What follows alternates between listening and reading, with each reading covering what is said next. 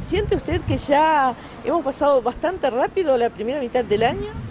Y realmente sí, con, la- con el comienzo de las clases y todo se pasa muy rápido. Aparte cuando tenés que ponerte a estudiar, sí, sí, sí, pasa muy rápido.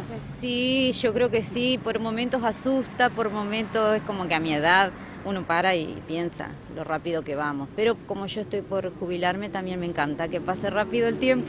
La verdad que sí. Sí, ha pasado rápido. Ya seis meses del año.